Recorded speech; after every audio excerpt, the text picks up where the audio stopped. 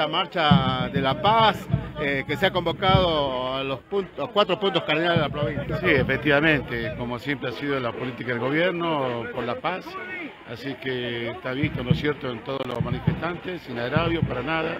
Creo que es un derecho que tienen todos los habitantes de transitar libremente y, de, trasladarse por cualquier punto del país, de la provincia, mejor dicho. Así que contento, una marcha que ha participado todos los sectores, ratificando, por supuesto, la política de nuestro gobierno de llevar siempre el diálogo y por la paz. Usted particularmente ha trabajado mucho con las comunidades, con la gente del interior de la provincia. ¿Qué le manifiesta, qué le dice, qué mensaje les deja a quienes están hoy eh, participando, cortando alguna ruta? No, bueno, sí hemos tenido muchas reuniones, obviamente, con las comunidades, donde sí es cierto, hay una desinformación, lo digo con toda sinceridad y con todo respeto. Así lo han manifestado muchas de ellas donde charlamos, pero bueno, puede ser ¿no es cierto?, legítimo sus reclamos si están informados. Obviamente ningún punto de la reforma de la Constitución establece lo que ellos están planteando. Así que creo que esto va a ir pasando a medida que se vayan informando y ojalá este, podamos solucionarlo a través del diálogo como siempre hemos propuesto, ¿no es cierto?, para que realmente sigan funcionando todas las instituciones que están muy preocupados, sobre todo el norte, turismo.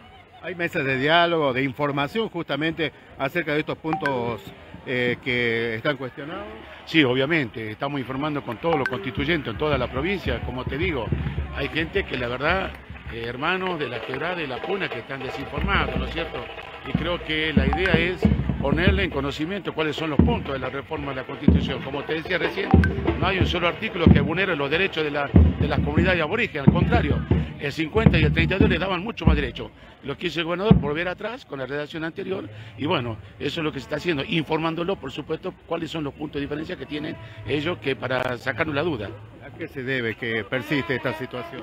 Yo creo que hay gente que realmente es malintencionada, que, que viene, a, por supuesto, a desinformar a la gente y hacer que realmente ellos... Este, eh, dejen de lado sus legítimos derechos que están planteados como la escritura, la, escritura de las tierras y otros temas que agua y otros puntos que tienen pendientes, lamentablemente la gente que desinforma hacen que las comunidades salgan, por supuesto, dejando de perder su objetivo claro, que es el reclamo que ellos pueden tener, pero no, por supuesto, el de la reforma, que estamos aclarando en todos los puntos de la provincia.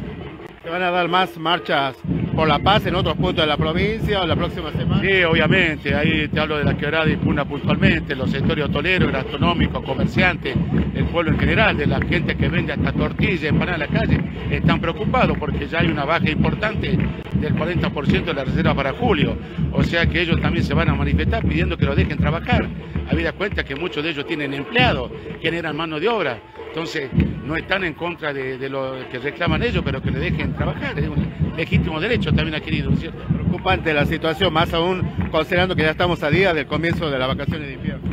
Claro, obviamente ya la semana que viene empiezan a tener ya vacaciones en distintas provincias del país, o sea que urge, por supuesto, que realmente se llegue a un acuerdo. Pero sin embargo siguen arribando funcionarios, dirigentes de nivel nacional, no para contribuir, sino para dividir y, seguir alentando, por supuesto, que no sea una marcha pacífica, eso es lamentable. Nosotros vamos a seguir trabajando en este sentido, apostando al diálogo y por la paz de Jujuy que merece todo el buqueño. Muchas gracias. Gracias a vos.